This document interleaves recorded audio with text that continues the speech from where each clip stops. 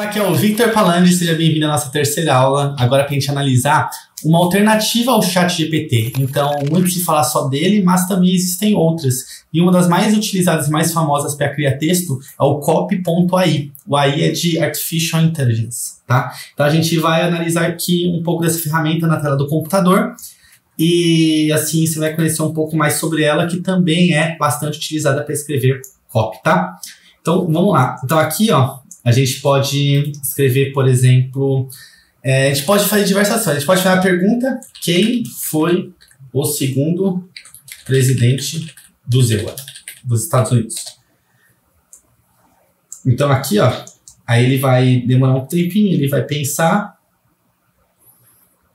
Aí traz um texto, ó, John Adams foi o segundo presidente dos Estados Unidos, ele foi um líder da Revolução Americana, conseguiu a independência da Grã-Bretanha, foi um dos principais autores da Constituição de Massachusetts, e traz até as, as, é, as fontes, tá? Bibliografia. Então é legal que isso o chat GPT não traz. Ó. Então, se a gente jogar a mesma pergunta lá, a resposta vai ser a mesma, né? John Adams, não muda.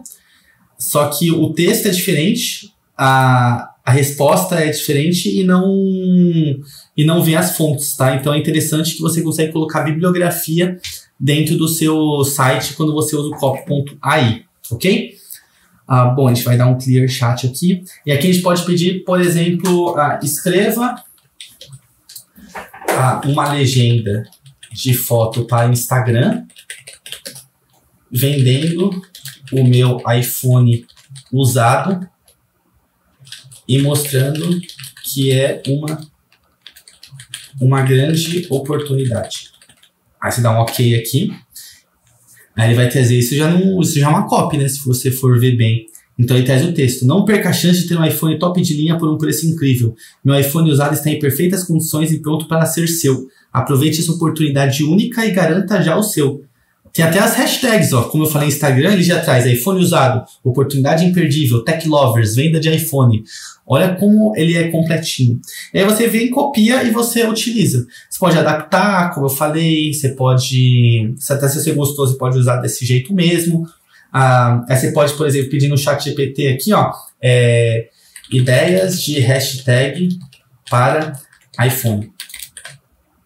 Aí você coloca de hashtag para iPhone, ele vai trazer várias hashtags que você vai utilizar na sua legenda. Então você também não precisa nem pensar muito nisso. Ó, iPhone Life, iPhone, iPhone Graphy, é, iPhone X, iPhone Educate, iPhone Love, iPhone Only. Ele deu 20 opções. E aí você pode colocar todas no seu post. Então eu diria que você pode usar até o copy.ai e o chat GPT juntos, por que não? Os dois são gratuitos, os dois têm versão paga. Você pode pagar a versão de um e você pode usar o grátis do outro eu acho que eles. Uh, não existe por que você ter um time A ou um time B se você pode estar nos dois times, na é verdade? Então é interessante aproveitar toda a, a oportunidade que a gente tem hoje em dia, aproveitar que está tudo muito gratuito ainda e ilimitado. Então aqui vamos fazer um teste legal aqui. Vamos falar para escrever um artigo vendendo um, um curso de um curso de. que a gente pode pedir aqui? Um curso de como consertar geladeira com 1.500 caracteres. Aí ele vai escrever aqui um textão, tá? Então é legal também é, você sempre ser muito direto nessas ferramentas. A gente vai ver os comandos nas próximas aulas, entender melhor aí ah, perguntas que a gente pode fazer.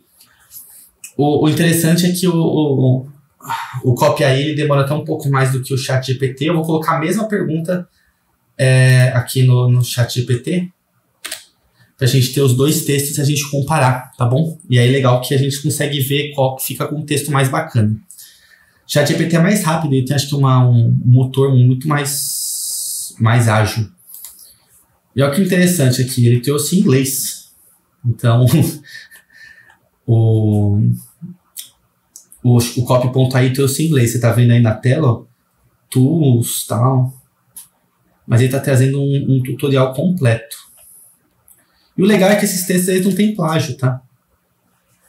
Aqui, ó, você sabia que a maioria das pessoas joga fora suas geladeiras quando elas param de funcionar? Isso pode ser um grande desperdício de dinheiro. Com o nosso curso de como consertar geladeira, você pode aprender as habilidades necessárias para consertar sua geladeira antiga, em vez de jogar fora e comprar uma nova. Então, olha só, ele está tentando ser bem persuasivo.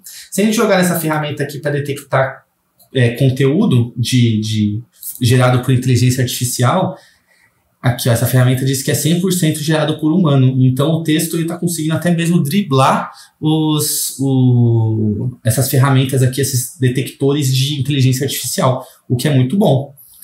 Agora, vamos pegar o do outro aqui. O do outro ele escreveu em inglês. E ele trouxe já diferente, ó, ele trouxe todos os passos que tem que fazer.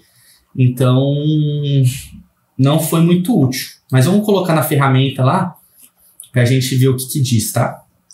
Então, se a gente colocar essa ferramenta aqui e dizer para ele detectar se é. Ele nem escreveu 1500 caracteres, ó. Então, também ele tem que estar tá vendo, né? Se ele é tão superior assim ao chat GPT. Mas só para a gente terminar aqui o teste, vamos, vamos pedir para ele analisar. Ele disse também que foi 100% gerado por humanos. Então, o copy.ai passou pelo teste de, de detecção de, de inteligência artificial, tá? Mas ele escreveu em inglês. Vamos ver se a gente pedir para ele escrever em português. Texto sobre Tiradentes em português. Vamos ver o que ele vai trazer. Se ele vai escrever em português mesmo ou se ele vai nem ligar. Tá, vai, tá escrevendo em português, ó. Então, se pedir para escrever em português, ele faz o esforcinho extra. Ele está falando, Tiradentes, cujo nome verdadeiro era Joaquim José, nasceu na fazenda de Pombal, no dia 12 de novembro de 1746. Ele foi um dos líderes do movimento da Inconfidência Mineira.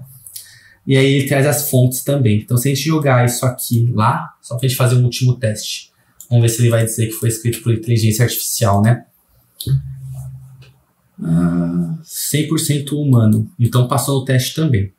Beleza? Então, essas são as ferramentas aí que o pessoal mais está utilizando para gerar copy, para gerar texto. Então, você pode utilizar as duas, como eu falei, por que não?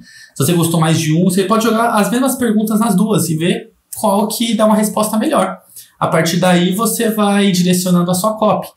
E qual você gostar mais, você, você paga a versão, a versão full, que aí você consegue aproveitar todas as funcionalidades que elas têm. Beleza? Então é isso, mais uma ferramenta aí para você. Ao longo das próximas aulas a gente vai trazer outras ferramentas de inteligência artificial que são bem úteis para copywriters. Fico te esperando por lá. Um forte abraço e até já. Tchau, tchau.